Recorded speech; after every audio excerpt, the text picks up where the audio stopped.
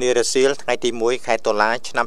2020លោកចាំនាងអភិបាលក្រុងពោធិ៍សាត់និងក្រុមការងារបច្ចេកទេសរដ្ឋបាលខេត្តរួមជាមួយក្រុមការងារបច្ចេកទេសរបស់ក្រុមហ៊ុន Spec Media ក្រុមកិច្ចចង្អុលការពីសំណាក់ឯកឧត្តមម៉ៅតុនិនអភិបាលនៃគណៈអភិបាលខេត្តពោធិ៍សាត់បានចុះពិនិត្យនិងសិក្សាទីតាំងសម្រាប់សាងសង់នៅស្ពានអាកាសថ្មើរជើងឆ្លងកាត់ផ្លូវជាតិលេខ5ត្រង់ចំណុចសារមន្ទីរខេត្តដែលជាគម្រោងរបស់រដ្ឋបាលខេត្តពោធិ៍សាត់ដែលនឹងសាងសង់នៅពេលឆាប់ៗខាងមុខនេះ លោកចាំនាងអភិបាលក្រុងពោធិ៍សាត់បានឲ្យដឹងថាគម្រោងស្ពានអាកាសថ្មើរជើងនេះត្រូវបានពិនិត្យនិងអនុម័តក្នុងកិច្ចប្រជុំសាមញ្ញក្រុមប្រឹក្សាខេត្តលើកទី12ឆ្នាំទី1អាណត្តិទី3កាលពីថ្ងៃទី4ខែមិថុនាឆ្នាំ2020កន្លងទៅដើម្បីលើកកម្ពស់សុខភាពក្រុងសម្រួលការកកស្ទះនិងកាត់បន្ថយគ្រោះថ្នាក់ចរាចរណ៍ជូនប្រជាពលរដ្ឋលោកបានបន្តទៀតថាទន្ទឹមនឹងនេះរដ្ឋបាលខេត្តនឹងមានគម្រោងស្ថាបនាផ្សារវប្បធម៌សួនច្បារច្រាំងស្ទឹងនៅរូបសំណាកលោកអញ្ញាក្លឹងមឿង ក្រុមការដឹកនាំប្រកបដោយកតេបណ្ឌិតរបស់សំណាច់អគ្គមហាសេនាបតីតេជោហ៊ុនសែន